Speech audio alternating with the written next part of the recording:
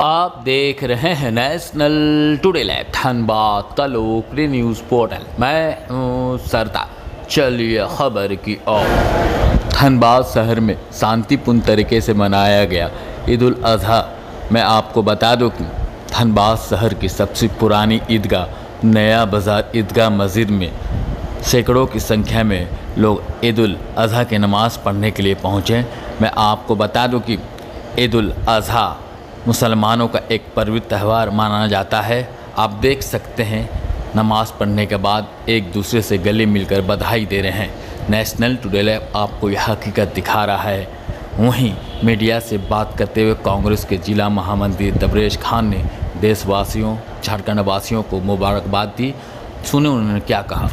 सबसे पहले तो सब बकरीद बकरीद की हमारी से हर को बकरीद मुबारक। जी। और बहुत अच्छे तरीके से जैसे जिला प्रशासन ने हमारे काम किया है, रात में भी गश्ती दल रात भर हर जगह पे, हर हर चौक चौराहा पर खड़ी होकर निगरानी कर रही है।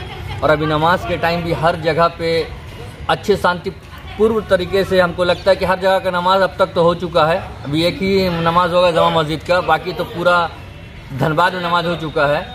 और अल्लाह पाक का करम है और बहुत शांतिपूर्ण तरीके से नमाज़ वमाज हो चुकी है और हम यही चाहते हैं आपके चैनल के माध्यम से चाहते हैं कि आप हाँ हमारे आवाम और अच्छे तरीके से और मिलजुल कर बकरीद मनाएँ। क्या नाम हो आपका? मोहम्मद तबरेज खान जिला महामंत्री यूथ कांग्रेस।